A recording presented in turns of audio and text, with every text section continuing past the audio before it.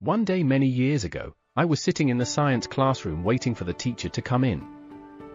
A group of students were kicking around a football. A friend of mine kicked a bit too hard, and a rack of test tubes fell to the floor and shattered. And of course, that is the moment when the teacher arrived. Who did this? And my friend, a 12-year-old child, stepped forward without hesitation. It was me, sir. It's not every day you see an example like that, someone with courage and character at the age of 12.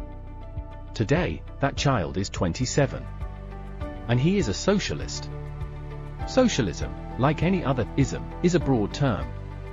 Conservatism can mean believing anything from kings should have absolute authority to marriages should be between one man and one woman. Feminism can mean believing anything from women are sovereign individuals with human rights to men are not.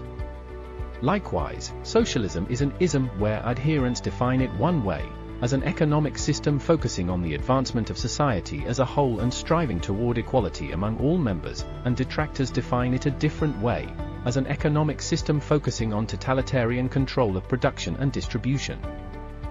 Both definitions are historically precedented and both are valid ways to use the word. Which is the main reason, as far as I can tell, that it makes for such a heated debate. For a long time in America, socialist was a dirty word like Nazi or racist. So that debate wasn't happening at all. And now that it's finally out in the open again, we are finding it difficult to shed the black and white perspective on the topic and have a balanced, nuanced, and productive conversation. Some cling to the socialism is evil propaganda without understanding a single socialist principle and some insist that there is no relationship between the principles of socialism and the catastrophes of the Soviet Union and Maoist China. In the name of balance, nuance, and productive conversation, today, and for the next several weeks, I'm going to talk about socialism. Today I'm going to talk about why it is a good philosophy and why in the most important ways, we are all socialists. If you dig past all the policies and politics and divergent designs and systems within socialism, you arrive at a very simple and very universal core philosophy. We're all in this together. With a focus on unity and justice, humans can make the world a better place for everyone. When we are united, we have the power to overcome so much of the darkness in the world. Maybe we can't make short kids taller, but we can make sure they have access to a box to stand on. We can't always make the sick well, but we can make sure they have access to modern healthcare. We can't guarantee that everyone be good at a job, but we can guarantee them a roof over their heads and food in their bellies if we work together. That is socialism. Economic success should not lead to the unequal application of justice.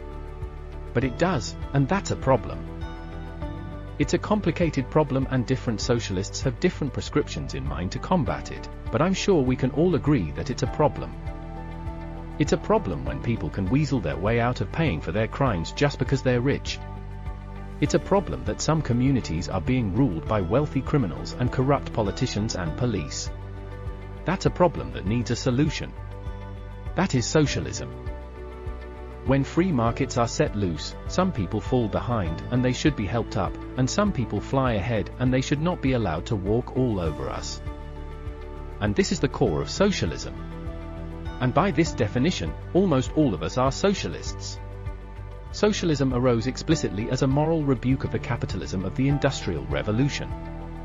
As freedom and liberty and markets spread amongst the privileged few, some of the worst elements of human nature were allowed to flourish. Socialism is the response of decency in the face of the evil that humans are capable of. When Marx and Engels were writing, it was standard to work 16 hours a day 7 days a week, people in manual labor jobs were working 24-hour shifts. The factories would be hot and dry and filled with poisonous fumes. 6, 7, 8-year-old children were losing limbs, and sometimes their lives, climbing inside of running machines to clean and maintain them. Every member of a family would have a job, and by pooling their wages, they would still barely have a place to live and food to eat. And every step of progress between then and now has been led by socialists. Socialists like Eugene Debs and Helen Keller are why we have 8-hour work days, why we have overtime pay, why we have workman's comp, why we have child labor laws. Socialism has already made the world a better place, and it will continue to do so. That is why I am a socialist. Thank you for spending some time with a man with no shoes. Please like and subscribe if you got anything out of it, leave a comment if you have any thoughts worth sharing, and join me next week to make it very clear why I am not a socialist.